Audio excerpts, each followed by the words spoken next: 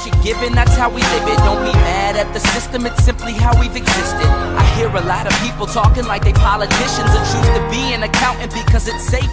Unlock 5.0 में बहुत जनों ने गूगल से प्राप्त किया है कुछ ज्ञान आज है 22 22 22 सितंबर मॉर्निंग ट्यूसडे सितंबर और दिन बचे हैं कितने? अनलॉक फाइव पॉइंट को शुरू होने के लिए। सात दिन बचे हैं अनलॉक 5.0 को ख़त्म होने, सात या छः दिन। और इसी विषय में आज हम बात करने वाले अनलॉक 5.0 की।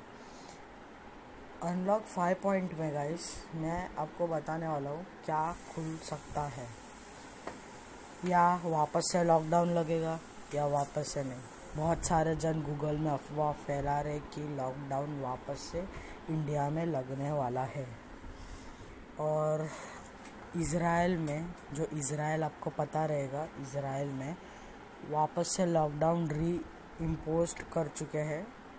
तो इसराइल में अभी वापस से लॉकडाउन है, कुछ भी नहीं है, सब बंद है।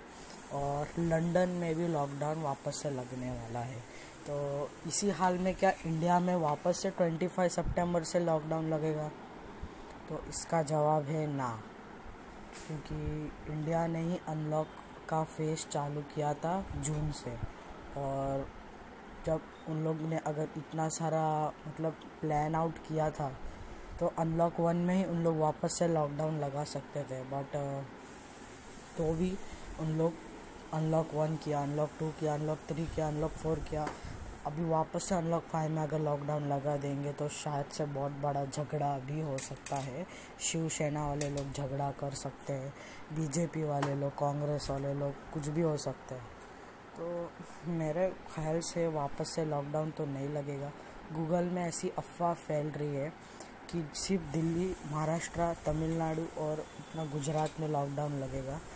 तो ये बात शायद से सच हो सकती है, क्योंकि महाराष्ट्र में केसेस बढ़ रहे हैं। और महाराष्ट्र में स्कूल की बात करें तो गैस महाराष्ट्र में स्कूल अभी दिवाली से पहले नहीं खुलने वाला है। ऐसा अब तक की जानकारी है और ऑफलाइन एग्ज़ाम रख, नहीं रख सकते बट अपना स्कूल पता नहीं, कुछ समझ के बाहर है, अपना स्कूल क्या करेगा, कैसे रखेगा। लेकिन ऑनलाइन एग्ज़ाम ही रहेगा, क्योंकि ऑफलाइन रखना बहुत इम्पॉसिबल ये साल भी कम पड़ जाएगा एग्ज़ाम रखने के लिए। कितने जन को बच्चे को बुलाएँगे? वो भी तो है।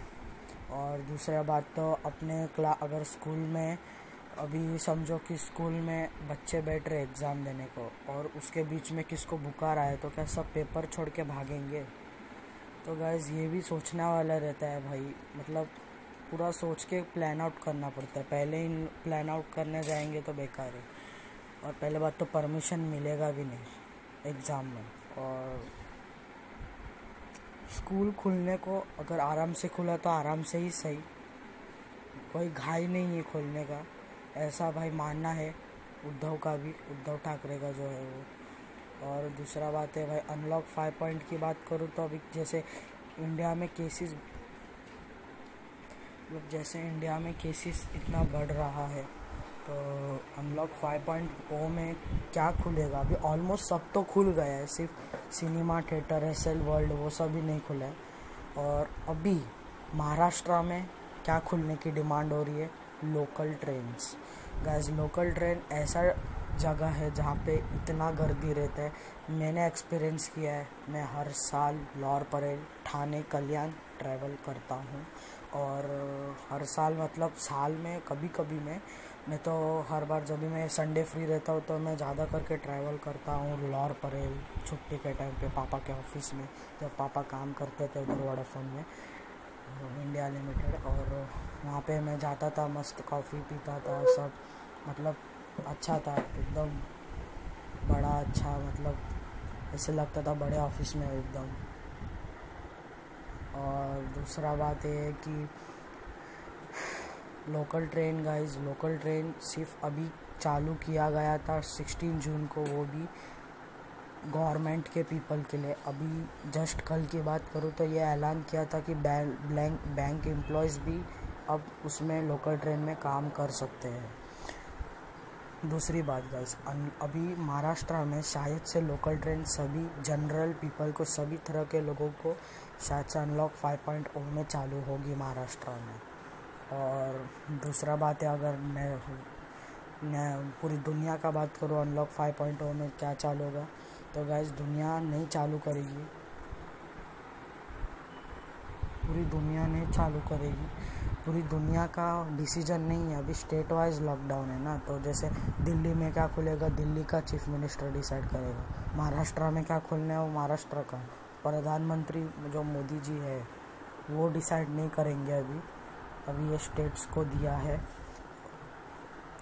और दूसरी बात, स्कूल्स के बारे में बात करूँ तो भाई, स्कूल्स की जो डिमांड है खोलने की, वो कर्नाटका, आसम वाले लोग खोलने वाले हैं शायद से मंडे से नाइन टू ट्वेल्थ के बच्चे लोग के लिए।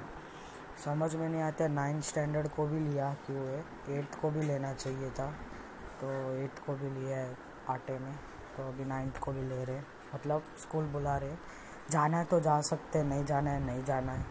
मैं तो प्रीफर करता हूँ घर पे बैठ के ही ऑनलाइन किए, क्योंकि रिस्क तो उठाना नहीं है। बार बार बाहर निकलने से आपको पता है कितने सारे पुलिस कोरोना पॉजिटिव इसलिए होते हैं, क्योंकि वो मतलब बाहर हमारे लिए सुरक्षा जो करते हैं, वो बाहर खड़े रहते हैं इतनी देर से।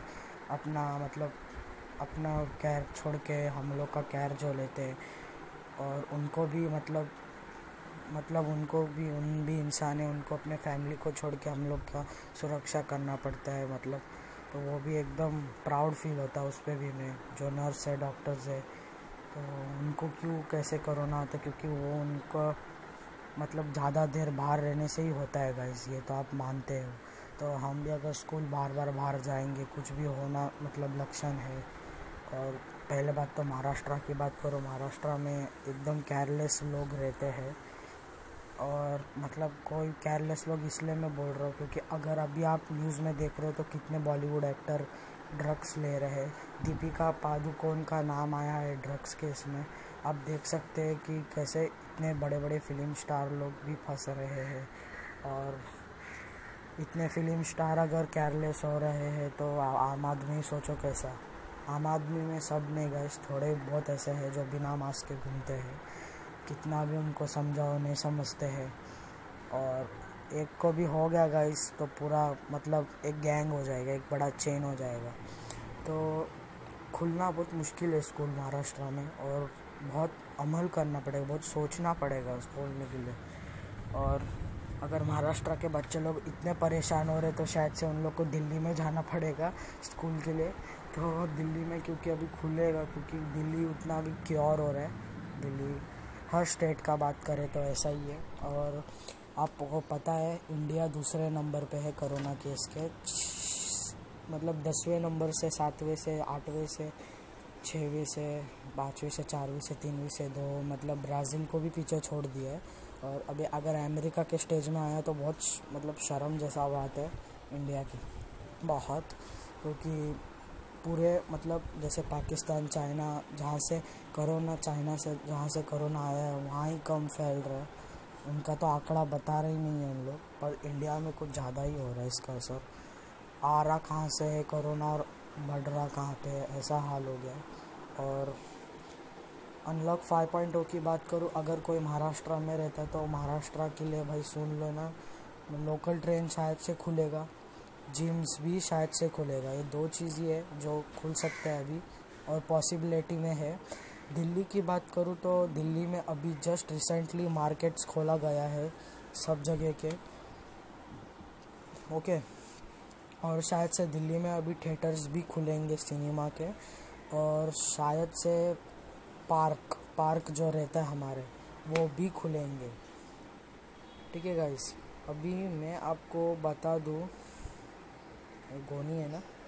हाँ। मैं आपको बता दूँ कि स्कूल का क्या होगा अभी। अभी स्कूल का क्या सिस्टम है गैस आपको बता दूँ। स्कूल अभी वैसे नॉर्मली हम जा भी नहीं सकते और एक क्लास में अगर सेवेंटी एट बच्चे रहते हैं नाइन्टी बच्चे रहते हैं कभी कभी तो नाइन्टी का भी आंकड़ा पार होता है एक क्लास में। हम लोग के स्कूल में एक क्लास में नाइन्टी के ऊपर बच्चे रहते हैं नाइन्थ या टेंथ की बात करूँ तो। तो वो कैसे होगा? और एग्ज़ामिनेशन में भी अगर सोशल डिस्टेंसिंग कैसे होगा? दस दस बच्चे तो नहीं बिठा सकते। बाकी की बात तो रखना ही इम्पॉसिबिलिटी है। और सब स्कूल का तो ऑनलाइन एग्ज़ाम लेके भी हो गया। इतने बड़े बड़े स्कूल है S V P S L पोर वाले, इनका जो मतलब स्टेटस है, एकदम बहुत हार्ड रहता है जो इनका एग्ज़ाम रहता है। S V P V S L पोर वाले, इनका जो एग्ज़ाम है, वो बहुत हार्ड रहता है। बहुत। और ये जो स्कूल है, ये पूरी ओवर वर्ल्ड का स्कूल है, यानी कि इनका ब्रांच कहाँ कहाँ पे है। और इतना मतलब सरदार वल्लभ भाई पटेल का जो स्कूल है, वो एस वी की बात करूँ तो गाइज़ ये जो एस वी जो स्कूल है गाइज़ वो पूरी दुनिया में कहाँ कहाँ, जैसे दिल्ली में ऐसे बहुत स्कूल है मतलब इसका ब्रांच अलग अलग जगह है। तो इस स्कूल में गाइज़ बहुत ही स्ट्रिक्ट एग्ज़ाम रहता है और वो स्कूल तक ऑनलाइन ले रहा है मतलब भाई आगे का सोचने वाला ऐसा है कि बाकी स्कूलों को भी लेना पड़ेगा। और पहले बात तो घाय घाय किया था ऑनलाइन स्कूल खोलने के लिए। अगर वैसे घाय घाय तो कुछ किया नहीं था गाइस बट अनलॉक का जो उन लोग ने किया था, उनको पता था आगे भी जाके ऐसा ही मतलब होने वाला है तो अभी से चालू किया जाए। दूसरी बात करूँ तो भाई अनलॉक सिक्स पॉइंट ओ की। सिक्स पॉइंट ओ में खुलने जैसा और कुछ है नहीं। बाकी सब ऑलमोस्ट तो खुल ही गए हैं। मेरे को लगता है कुछ है ही नहीं अनलॉक में। भाई, ऐसा सीधा बोल देंगे, पूरी दुनिया नॉर्मल हो जाओ। हो गया नॉर्मल हो गया सब। बट स्कूल नहीं होएगा चालू। अभी तो बच्चा स्कूल है, जो चालू अभी नहीं होने वाला है। तो क्लासेस स्कूल अभी तो फ़िलहाल बंद है, द थर्टी सेप्टेम्बर तक। वैसे थर्टी वैसे भी दिवाली कभी आ रहा है, आपको पता है। नवंबर के फोर्टीन को आ रहा है। और अभी थर्टी तक ऐलान कर दिया महाराष्ट्र ने और दूसरी तरफ़ से बोलती है कि दिवाली से पहले नहीं खोलेंगे। दिवाली तो चौदह नवंबर को है। तो कहाँ चौदह नवंबर कहाँ तीस सितंबर। चलो, मान लेते हैं कि तीस सितंबर। तो तीस सितंबर क्या क्या कौन सा कानून उन लोग डालेंगे स्कूल खोलने का? तो ऐसे का जवाब अभी अपने उद्धव ठाकरे ही दे सकते हैं। अभी वो बिज़ी है कंगना रावत के साथ झगड़े में। तो उनके साथ ही अभी भीड़ रहे हैं। देखेंगे, हम एक माइक पकड़ेंगे और हम न्यूज़ चैनल खोलेंगे। माइक लेके जाएँगे, उधर न्यूज़ रिपोर्टिंग करेंगे और आएँगे, ठीक है? तब तक के लिए भाई घर पे बैठो। अच्छा सा कुछ लैपटॉप बैठो मोबाइल में बैठो, पढ़ाई कर लेते ऑनलाइन तब तक के लिए आगे की आगे पॉलिटिशियन वाले लोग जो है, इन लोग ही संभाल लेंगे। इन लोग का काम ही वो है, संभालना सब। और इनका काम नहीं तो फिर डायरेक्ट प्रधानमंत्री देख लेंगे कौन सा क्या करना है। और by the way Shraddha Kapoor भी ड्रग्स केस में फंसी हुई है, समझे? श्रद्धा कपूर, सारा अली खान, ये सब ड्रग्स केस में। और अभी और बहुत संजय दत्त, ये ऑलरेडी जेल जा चुका था संजय दत्त, पर वापस से जाने की तैयारी पे है। उन लोग को ड्रग्स लेने का शौक है, ले लिया उन लोग ने, अपना शौक पूरा कर लिया, अभी जेल जाने का शौक पूरा करना होगा। एक के साथ एक फ्री चलो, तब तक मिलते हैं। स्टे सेफ़ स्टे हेल्दी अपना ख्याल रखना, घर पे रहना और गवर्नमेंट का जो गाइडलाइंस दिया है वो पालन करो मास्क पहनो सैनिटाइज करो अपने हाथ को और रह लेना, ठीक है? Bye guys